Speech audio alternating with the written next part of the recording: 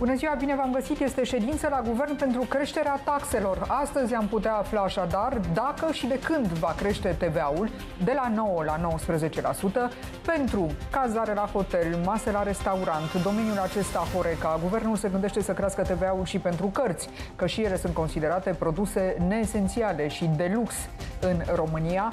Uh, urmează, dacă va crește TVA-ul așa cum susțin cei de la PNL, urmează o scumpire în ansamblu a vieții, o scădere a consumului, dar imaginea cea mai precisă vine de la analistul Adrian Negrescu, este invitatul meu la această oră. Bună ziua, domnule Negrescu, mulțumesc mult pentru intervenție. Bună ziua! Îl salut și mulțumesc foarte mult uh, domnului Dragoș Frumosu, Sindalimenta, sindicatele din domeniul alimentar anunță că vor face grevă pentru că guvernul se gândește să elimine facilitățile din domeniul agriculturii. Bună ziua, domnule Frumosu, vă mulțumesc mult și dumneavoastră. Sărbuna, mulțumesc și eu pentru invitație. Um, Adrian Negrescu strânge tare povestea asta. Guvernul are nevoie de bani repede. De-aia, astăzi e ziua în care am putea afla uh, pentru ce produse va crește TVA-ul. O creștere spectaculoasă de la 9 la 19%, cu 10%. De ce se grăbesc atât de tare? Pentru că deficitul este foarte, foarte mare. A ajuns undeva la nivel de 50 de miliarde după primele șase luni, câte arată estimările inside ale Ministerului Finanțelor, sunt date neoficiale în momentul de față. Cert este că datoria publică, diferența între veniturile statului, când casează statul dintre, din taxe și impozite și venituri nefiscale și cât cheltuiește din ce în ce mai mare. Astfel încât e posibil ca la sfârșitul anului să nu ne încadrăm în deficitul de 4,4% asumat în fața Comisiei Europene, să ajungem undeva pe la nivel de 6, ceva la 100. 6,6% era deficitul public, deficitul bugetar la precedenta criză economică în 2009. Ce s-a întâmplat atunci? Știm foarte bine, au um, scăzut salariile bugetarilor, a fost introdus celebrul impozit minim prin care orice companie din România plătea un, o taxă între 500 de euro și 10.000 de euro în funcție de cifra de afaceri. Uh, s-au luat tot fel de măsuri uh, sub auspiciile unui acord cu femei, în așa fel încât să repunem economia pe pucioară. Din păcate, spre asta ne îndreptăm. Din punctul meu de vedere, această, acest exercițiu de imagine din ultimele zile legate de faptul că nu vom crește taxele va fi contrazis de măsurile pe care probabil le le va anunța premierul uh, Ciolacu pe ideea că asta e, n-avem ce face. E de vină PNRR-ul pentru că noi creștem taxele în România. Ce vor face? Probabil vor crește toate aceste taxe de care vorbiți dumneavoastră și nu numai atât. Văd că se discută din ce în ce mai puternic introducerea acestui impozit minim pe care să-l plătească toate companiile din România. La fel cum a făcut uh, guvernul Boc în 2009. Ce înseamnă asta pentru companiile din România, introducerea unui impozit minim obligatoriu?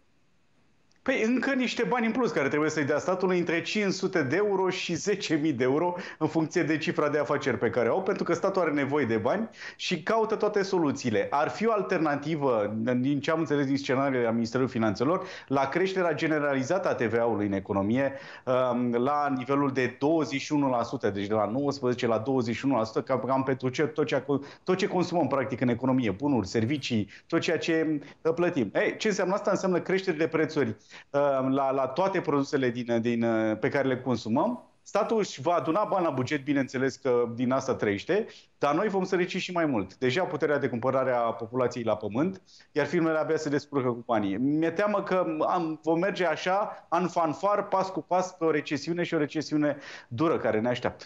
Și dacă vor fi luate aceste măsuri de creștere a TVA-ului de la 9 la 19% pentru Horeca, vor fi loviți tot cei care consumă, cei care își mai permit să meargă la restaurant, să-și mai facă o vacanță, să închirieze o cameră la hotel. Domnule Frumosu, pe dumneavoastră nu vă impresionează uh, efortul guvernului de a face rost de bani, nici aceste creșteri posibile de taxe care ne așteaptă și impozite, pentru că dacă se va introduce acest impozit și dumneavoastră, cei din alimentație, veți avea de suferit. Spuneți că veți face grevă. De ce? Nu neapărat grevă, este foarte greu în industria alimentară, eu vă spun foarte sincer, este foarte greu să faci o grevă generală pentru că sistemul sectorului este privat în totalitate și pentru că, în general, în acest domeniu e cam omul și locul de muncă, dar vor face acțiuni de protest Doar ample. o mică problemă tehnică, dacă îmi permiteți, dacă puteți să, să, să coborâți puțin nivelul televizorului, pentru că se face un mic... Nu, eco. nu e deschis nu, nimic nu e. lângă Am înțeles. Vă rog, vă ascult. Sper să vă auzim mai bine, vă rog. Deci uh, vom face acțiuni de protest destul de mari uh, și suntem în momentul de față în discuție și cu colegii din agricultură, vom purta discuții și cu colegii din piscicultură pentru că, într-adevăr, problemele sunt uriașe, iar oamenii ăștia nu înțeleg lucrul ăsta. Deci eu observ că de ceva timp uh, nu funcționează nimic și asta știm cu toții, dar nu mai există răspundere ministerială. Faptul că împrumuturile sunt uriașe și gaura la buget este uriașă, pentru toate lucrurile astea se fac responsabili ei. Eu dacă fur o pâine, mâine sunt legat. Oamenii ăștia au făcut împrumuturi uriașe cu dobânzi mari, fără să ia acordul nimănui, nimeni nu știe și nu vor să spună cine a cheltuit irresponsabil și unde s-au dus banii ăștia, da? Și ajung astăzi ca să recupereze greșelile mari ale lor, tot de la populație care este sărăcită. Este inadmisibil ce se întâmplă și trebuie să răspundă fără discuție. Să știți că a venit momentul și vă anunț cu subiect și predicat că oamenii din domeniul acesta, al industriei alimentare, al agriculturii, al pisciculturii, o zonă unde avem un potențial uriaș și sperăm să se adune și antreprenorii și alte zone care vor uh, uh, beneficia, între ghilimele, vor suporta aceste măsuri, uh, încep să se trezească. Începem să ne adunăm. Și o spun ca să înțeleagă, pentru că este un mare pericol să ne adunăm și oamenii ăștia cărora le-a ajuns cuțitul la os, să iasă în stradă și să demonstreze pentru lucrurile astea, pentru că este inadmisibil, repet, cred că am spus de foarte multe ori, uh, am folosit acest termen, este inadmisibil și inuman ca ei să fie puși acolo ca să găsească soluții și măsuri pentru noi, dar în acest timp ei își cresc salarii, își găsesc bani pentru ei, găsesc bani pentru funcționarii publici acolo unde au nevoie de voturi, găsesc bani pentru primari acolo unde au nevoie de voturi, dau în continuare irresponsabil ajutoare sociale unora care pleacă la furturi în străinătate și care vin să-și ia ajutoarele cu BMW-uri, Mercedes-uri și mașini extra luxoase și populația care cotizează de o viață, mă refer la pensionari și ceilalți care muncesc și își plătesc aceste obligații, suferă. Nu se mai poate așa ceva și o spun cu toată responsabilitatea. Da, Adrian Nedescu, ce se alege de uh, lupta lui Marcel Ciolacu, lupta cu prețurile dacă vom ajunge la o asemenea creștere a TVA-ului? Atât din când am avut un studiu de impact, nu avem niciun fel de date oficiale legate de impactul măsurilor pe care acești oameni l-au decis prin ordonanță de urgență, plafonarea adaosului comercial. Da? Ați văzut un calcul făcut de un politician care să vină să ne explice concret ce efecte va avea? S-a vorbit doar de ideea că s-ar putea să scadă prețurile. Și cred că la idee vom rămâne, pentru că în fapte prețurile, din păcate, continuă să crească și cresc, din păcate, cu un ritm mai accelerat, inclusiv în zona alimentară, decât acum câteva luni. De ce?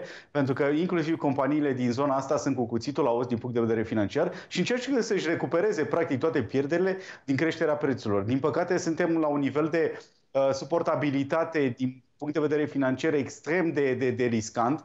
Uh, creditul furnizor, principala modalitate prin care se finanțau aceste companii, adică ei marfă și o plătești undeva la 3-4 luni, fără dobândă, fără să-ți iei credit de la bancă. Ei, ăla nu mai funcționează și asta este marea problemă în România în momentul de față și de aceea dacă vă uitați în magazinele mici de cartieri, uh, veți vedea din ce în ce mai puține produse, dar chiar și în supermarketul uh, ajungem la așa ceva, pentru că nu-și mai permit practic să cumpere marfa, să o vândă și abia după aceea să, să, să-și recupereze banii. E foarte, foarte dificilă situația. Iar ne, duce, ne îndreptăm către o, către o scădere a, a consumului, uh, inclusiv pe fondul acestei uh, uh, reducere a ofertei despre care vorbeai. Da, se vede acest lucru. Dincolo de creșterea cifra față din comerț, care am văzut acum două zile și încercam să explic faptul că da, poate pe ansamblu, pe fondul creșterilor de prețuri, bineînțeles că cifra de afaceri e mai mare, dar în volum, adică în număr de produse vândute, oamenii cumpără din ce în ce mai puțin. Iar, iar hipermarketurile chiar au o reală problemă. Uitați-vă, chiar am fost în weekend într-un hipermarket foarte cunoscut din București și mă uitam pe, pe rafturi. Unu, că sunt mai puține produse, doi, sunt produse din zona asta ieftină. Cât mai multe produse care să fie mai ieftine, pentru că celelalte produse, știți, vorbeam noi mai de mult despre faptul că vor fi o gamă din ce în ce mai reduse de produse. Iată că se întâmplă acest lucru. Oamenii nu mai au bani. Și în momentul în care nu mai ai bani din cauza creșterilor de prețuri, la un moment dat îți pui o problemă de supraviețuire. Și mie că la un moment dat se va ajunge, uh, din punctul meu de vedere, la ceea ce spunea domnul Frumosul, chiar și la o grevă fiscală, dacă autoritățile vor interveni din punctul meu de vedere absolut aberant cu creșteri de taxe într-o perioadă în care, din potrivă, ar trebui să uh, relaxeze fiscalitatea și să oferă o gură de oxigen mediului de afaceri pentru a putea trece peste, peste această perioadă. Vă gândiți la o grevă fiscală, domnule Frumosu? Ne gândim și la o grevă fiscală, sigur că nu este simplu, iarăși o spun cu toată responsabilitatea și sinceritatea, dar probabil că ă, dacă lucrurile vor merge în această direcție a măsurilor acestea aberante, sigur că ne gândim și la așa ceva și sperăm să ă, reușim să convingem cât mai mulți antreprenori și societăți comerciale. Vreau să vă spun un lucru, să știți, calitatea asta a produselor, prețul ăsta al produselor ă, de mai îndoielnică calitate vis-a-vis de faptul că ies cu un, uh, un preț mai, mai scăzut. A, vă, ref- vă referiți la produsele despre care guvernul spune că se vor ieftini? Uh, pe de o parte la ele și să nu aveți impresia că un comerciant și chiar și un producător își va permite să reducă uh, costurile cu 20%, cum vorbeau reprezentanții guvernului acum vreo săptămână dacă se vor reduce prețurile sau vor apare pe raf prețuri reduse la produsele pe care le-a selectat, să zic așa, guvernul, mai mult ca sigur că diferențele astea le vom uh, reîntâlni ca și creșteri în alte produse. Nu-și permite nimeni să piardă. Și vă mai spun și altceva. Uh, vedeți că ei iau niște măsuri. Așa cum spunea și domnul Negrescu, nu avem un studiu de impact să vedem ce se întâmplă în aceste condiții. Dar instituțiile statului au luat în calcul faptul că aceste mari rețele comerciale, sub brandurile lor, scot produse de același tip făcute de societățile comerciale la prețuri mult mai ieftine. Eu nu cred că un uh, hipermarket produce oțet din mere, că un hipermarket produce uh, parizer, că un hipermarket produce un tip de salam. Deci astea sunt lucruri pe care le negociază cu anumiți procesatori uh, și prețurile sunt mai, uh, mai mici la raf de, din două motive. Sau rețeta este modificată și este mai de proastă calitate, uh-huh sau sunt reduse taxele pe, aberante pe care marile rețele comerciale le au introduse în contractele cu uh, partea de procesare. Niciodată un procesator nu vă va spune lucrul ăsta, dar instituțiile statului ne promit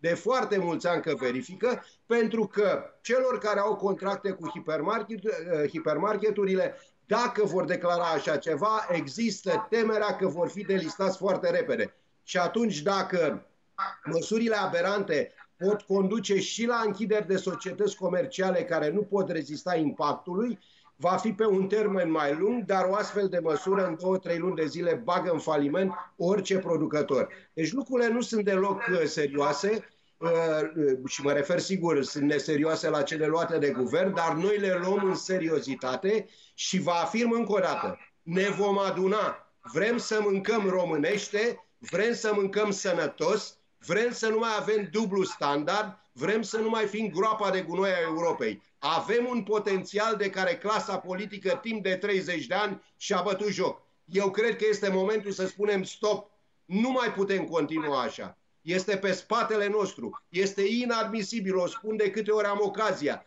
Distruge acum 30 de ani un sistem de irigații, lasă să se fure sute de kilometri de, de irigații de sistem și 30 de ani nu pui o cărămidă în loc. Concluzia e una singură.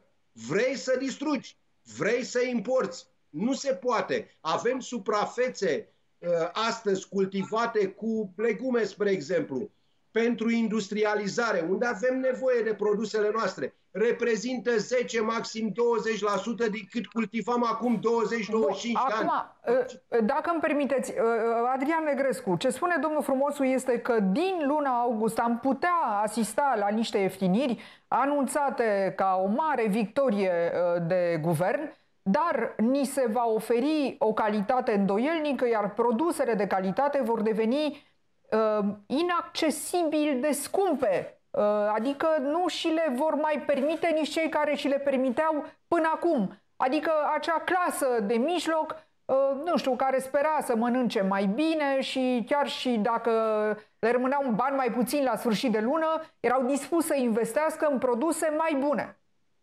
Mai știți când spuneam acum câteva luni la dumneavoastră la B1 că vom ajunge să mergem la hipermarket ca la muzeu, da. să admirăm produsele? Spre asta ne îndreptăm, din păcate, pentru că e o presiune extrem de mare, iar sistemul uh, acesta în care funcționează hipermarketul e unul profund dereglat din punct de vedere uh, administrativ, fiscal și mai ales economic. De ce? Pentru că uh, se creează o concurență absurdă între produsele românești și cele importate, cele importate care, bineînțeles, sunt, au ajuns să fie mai ieftine decât cele românești. De ce? Pentru că noi nu am susținut agricultura românească cu depozite, cu, cu facilități menite să uh, adune practic toate ofertele mai multor producători, în așa fel încât să vină și să, să vină cu o soluție competitivă la alternativa oferită de importuri. Da, spre asta ne îndreptăm. Produse mai puține la raft, mai scumpe și vom mânca la 100 de grame, cum am spus. Deja se mănâncă la 100 de grame în România, iar dacă vă uitați la reclamele TV, veți vedea că toate produsele pe care hipermarketurile le promovează, le promovează la 100 de grame sau la o bucată, ca să pară că e prețul mai mic. Pe kilogram bineînțeles, sunt scumpiri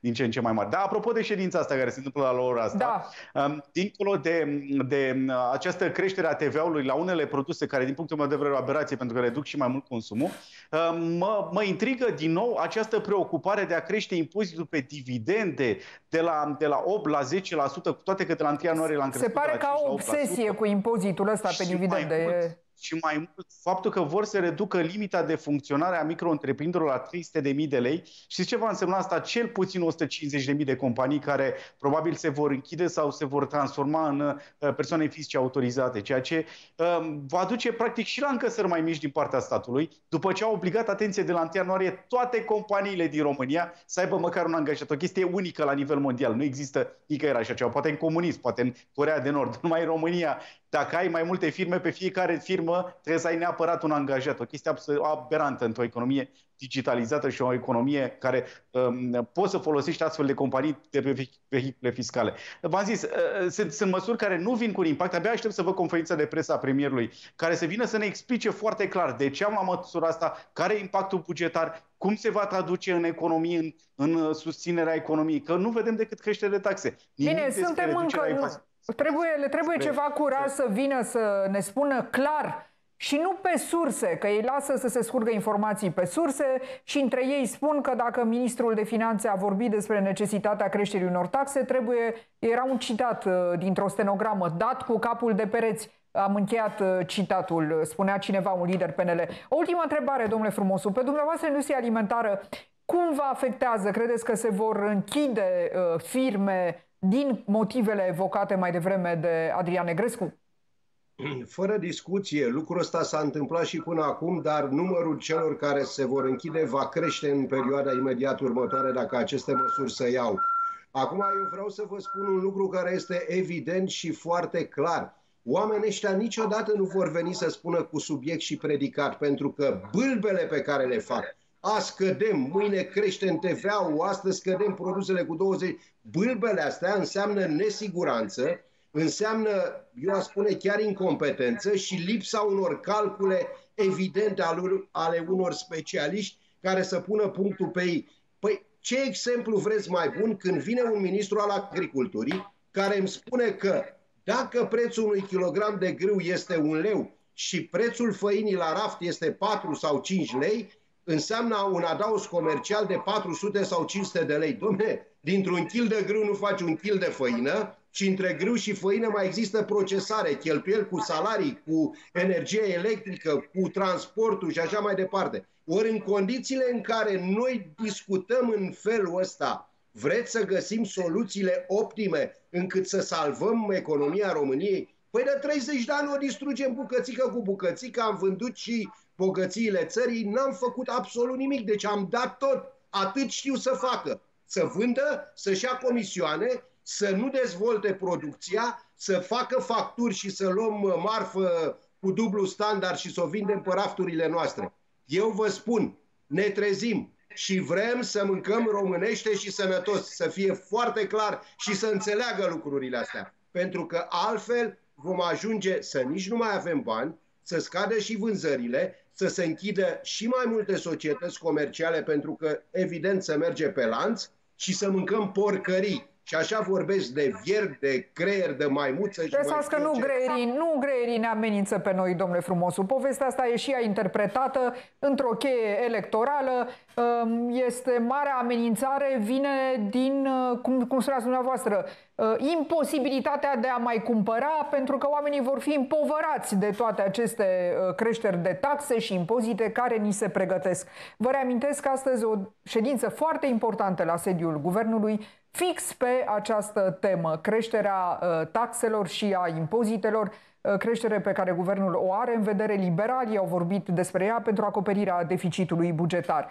Și pentru că suntem în plin sezon al vacanțelor, din ce în ce mai mulți oameni sunt uh, realmente descumpăniți de faptul că li se anulează zborurile, companiile aeriene comunică tot mai greu și mai complicat cu cei care își cumpără bilete de avion, ca să nu mai vorbim despre întârzierile enorme uh, pe care uh, trebuie să le înfrunte cei care au de făcut vacanțe sau pur și simplu drumuri în interes de serviciu, în interes uh, personal Uh, e complet scăpată de sub control în această vară chestiunea aceasta a întârzierilor curselor aeriene și a anulărilor pe ultima sută de metri. Uh, ba mai mult, uh, am aflat că se pregătește o grevă a controlorilor de trafic aerian care de asemenea uh, va duce la întârzieri și la anulări uh, și mai multe și mai dese. Îi mulțumesc foarte mult domnului uh, Ciprian Pitulice, este, Cristian Pitulice, îmi cer scuze, este consultant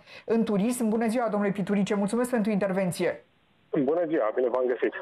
Situația se înrăutățește în ceea ce privește această poveste a anulărilor și întârzierilor pe aeroporturi. Întrebarea este ce avem de făcut, că poate unii dintre noi uh, și-au plătit vacanțele de multă vreme, uh, sunt alții care au drumuri de făcut uh, în interes personal, sunt și urgențe pe lumea asta și am ajuns să fim realmente la discreția companiilor uh, de trafic aerian. Uh, da, uh, vara 2023 a atins, mai bine zis, acum câteva zile am atins la nivel planetar un record în ceea ce privește numărul de zboruri aeriene într-o zi. 130.000 de zboruri uh, au fost acum vreo 4 zile, în 24 de ore, ceea ce este un record absolut și asta este un indicator uh, foarte important al circulației turistice pe care, al circulației aeriene, bineînțeles și turistice pe care o avem la nivel uh, global. Uh, situația nu stă chiar așa de grav cum este prezentată de presă în general, nu este nici de cum scăpată de sub control. Uh, numărul mediu de anulări, de anulări de zboruri în această vară, cel puțin până acum, este substanțial sub cel de acum 2 ani, care am avut în 2021, imediat după pandemie și anul trecut, când am avut uh, uh, o mulțime de anulări, uh, anul ăsta o ducem destul de bine, pe de o parte. Pe de altă parte, trebuie să avem în vedere și specificul zonei noastre în care ne aflăm. Adică nu ne interesează în mod deosebit ce se întâmplă pe continentul american, dacă Delta sau United își anulează zborurile, că contează foarte mult ce se întâmplă la noi aici. România are un specific destul de păgubos, în sensul că la, de la noi operează o mulțime de low costuri ceea ce la low costuri relația cu clientul nu este cea mai fericită, ca să zic așa. Pe de o parte și pe de altă parte relația cu banii clientului este încă și mai nefericită. Pentru că dăm 50 de euro pe un bilet de avion și 50 de euro s-ar putea să ruineze o vacanță de mai multe mii de euro. Trebuie da, să fim în, atenți. În ultimul uh, timp, cel puțin dacă le cumpărăm uh, uh, așa pe ultima 100 de metri, biletele nu mai costă de mult 50 de euro, chiar și pentru low costuri se plătesc sute de euro bune. Este foarte adevărat, dar noi în primăvară când uh, ne-am făcut aceste rezervări, nu am luat în calcul că low costurile uh, pot face glume din astea proaste cu, cu pasagerii. Ce este de făcut aici și asta este lucru pe care îl îndemn uh, de fiecare dată când vorbesc cu, uh, cu oamenii, este să-și asigure biletele de avion. Fiecare companie aeriană, low cost sau nu, are o schemă de asigurare a biletelor de avion în ceea ce privește întârzierile. Nu este cine știe ce, dar totuși este ceva acolo costă 25, 30, 40 de euro și așa mai departe. Sigur, în momentul în care luăm acel bilet de avion de 50 de euro, s-ar putea să spunem, păi da, ne costă mai mult asigurare. Este foarte Asigurarea, adevărat. transportul, da, bagajele, dacă vrei să da, o valiză și, puțin toate, mai mare, da. Și toate celelalte. Acum, ce este un alt, un alt aspect foarte important este uh, faptul că spre norocul nostru românii circulă în Europa preponderent în sezonul estival și au foarte puține zboruri cu escală. Aceste low costuri, pe lângă faptul că, iată, sunt destul de păguboase în ceea ce privește relația cu clientele, sunt foarte avantajoase pentru că ne duc către destinații uh, uh, turistice eminamente. Adică avem zboruri directe și cu asta basta.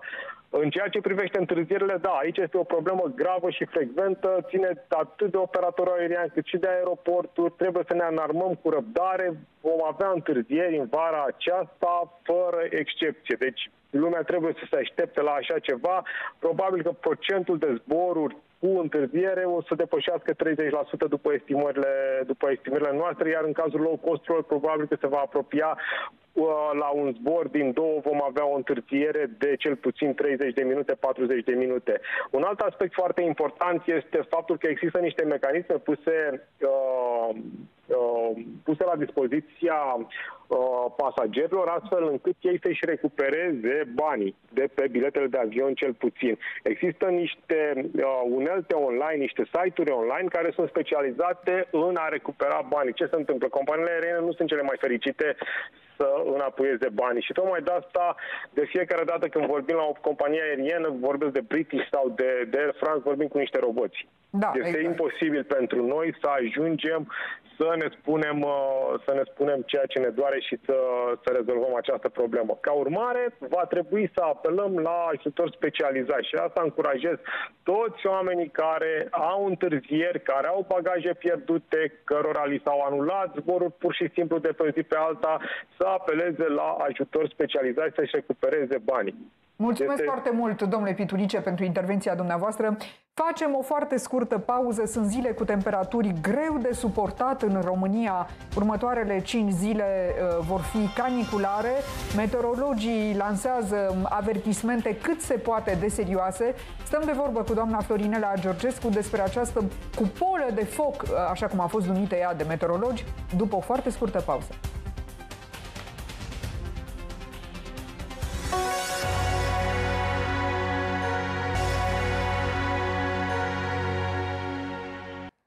44 de grade în mai multe țări europene este caniculă severă, cod roșu de vreme foarte caldă. Urmează zile caniculare și în România, dar în urmă cu puțin timp a fost emis un cod galben de vijelii. Uh, bună ziua, îi mulțumesc foarte mult doamnei Florinela Georgescu, este director executiv al ANM. Uh, doamna Georgescu, la ce să ne așteptăm în zilele următoare?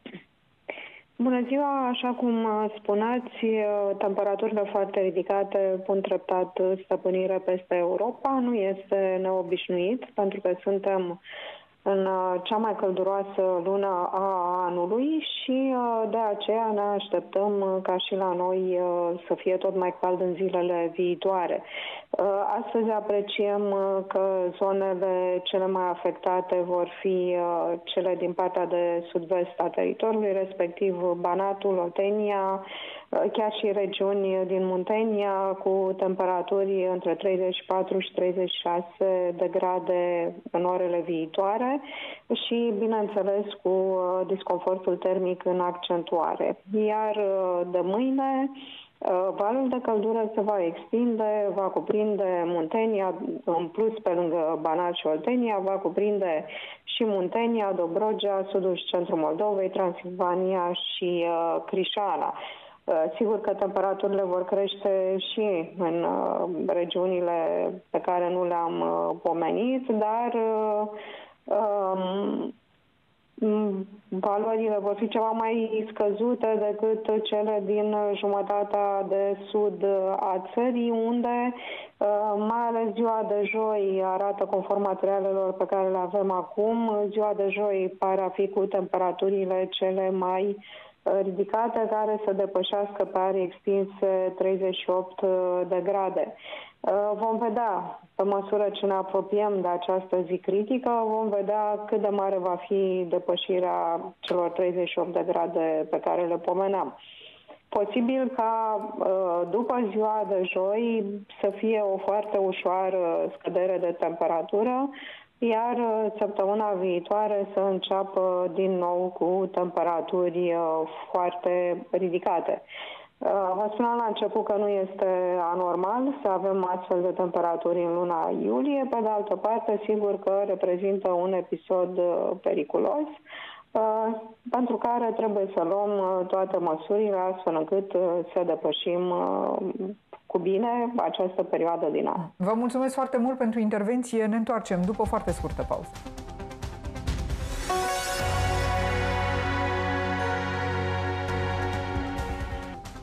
Sunt demisii în lanț în scandalul azilelor. Șeful DSP Ilfov a anunțat că își dă demisia. Președintele și vicepreședintele Autorității pentru Protecția Drepturilor Persoanelor cu Dizabilități au demisionat de asemenea. Au început și controlele dispuse de Marcel Ciolacu în um, cămine de bătrâni și un centru din Timișoara a fost închis astăzi de, de inspector pentru că le oferau mâncare expirată bătrânilor uh, cazați uh, acolo.